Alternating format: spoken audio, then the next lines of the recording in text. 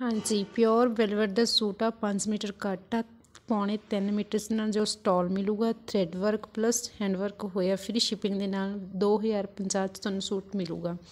Pure pashmina ਦਾ suit ਆ digital print ਟਾਈ ਮੀਟਰ ਸ਼ਰਟ ਟਾਈ ਮੀਟਰ ਬਾਟਮ ਨਾਲ ਸਟਾਲ ਮਿਲੂਗਾ, ਤੁਹਾਨੂੰ 550 ਚ ਫ੍ਰੀ ਸ਼ਿਪਿੰਗ ਦੇ ਨਾਲ।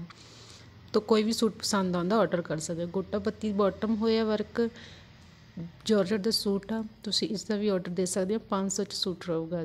ਨੈਕਸਟ ਚਨੂਨ ਦਾ ਸੂਟ ਆ ਡਿਜੀਟਲ ਪ੍ਰਿੰਟ ਆ ਜਾਰਜਟ ਦੀ ਬਾਟਮ 2.5 ਮੀਟਰ ਤੁਹਾਨੂੰ 300 ਵਿੱਚ ਤੁਹਾਨੂੰ ਸੂਟ ਰਹੂਗਾ ਫ੍ਰੀ ਸ਼ਿਪਿੰਗ ਦੇ ਨਾਲ।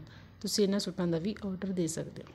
ਹਾਂਜੀ, ਇਹ ਵਾਲੇ ਸੂਟ ਤੁਹਾਨੂੰ ਪਿਓਰ ਪਸ਼ਮੀਨਾ ਦੇ 2.5 ਮੀਟਰ ਸ਼ਰਟ ਜੇ ਉਸ ਦੇ ਨਾਲ ਬਾਟਮ ਉਹ ਪਿਓਰ ਪਸ਼ਮੀਨਾ ਦੀ 3 ਮੀਟਰ ਮਿਲੂਗੀ, ਨਾਲ ਡਿਜੀਟਲ ਪ੍ਰਿੰਟਡ ਤੁਹਾਨੂੰ ਮਸਲੀਨ ਦਾ ਦੁਪੱਟਾ ਮਿਲੂਗਾ। ਤੁਹਾਨੂੰ 1399 ਵਿੱਚ ਵਿਦ ਫ੍ਰੀ ਸ਼ਿਪਿੰਗ ਦੇ ਨਾਲ ਸੂਟ ਮਿਲਣਗੇ। ਮੇਰੇ WhatsApp ਨੰਬਰ ਤੇ ਆਰਡਰ ਦੇ ਸਕਦੇ। ਬਨਾਰਸੀ ਸੂਟ ਨੇ ਟੈਬੀ ਸਿਲਕ ਬੇਸ ਰਹੂਗਾ 1350 ਵਿੱਚ ਤੁਹਾਨੂੰ ਇਹ ਸੂਟ ਮਿਲੂਗਾ। ਤੁਸੀਂ ਮੇਰੇ WhatsApp ਨੰਬਰ ਤੇ ਸਕਰੀਨਸ਼ਾਟ ਲੈ ਕੇ ਜੋ ਵੀ ਤੁਹਾਨੂੰ ਸੂਟ ਪਸੰਦ ਆਉਂਦਾ, ਵੀ ਸ਼ਿਪਿੰਗ ਸਭ ਸੂਟਾਂ ਦੀ ਫ੍ਰੀ ਆਪਣਾ ਇਹਨਾਂ ਸੂਟਾਂ ਦਾ ਆਰਡਰ ਦੇ ਸਕਦੇ ਹੋ। ਔਰ ਮੇਰੇ ਚੈਨਲ ਨੂੰ ਸਬਸਕ੍ਰਾਈਬ ਜ਼ਰੂਰ ਕਰੋ। Thank you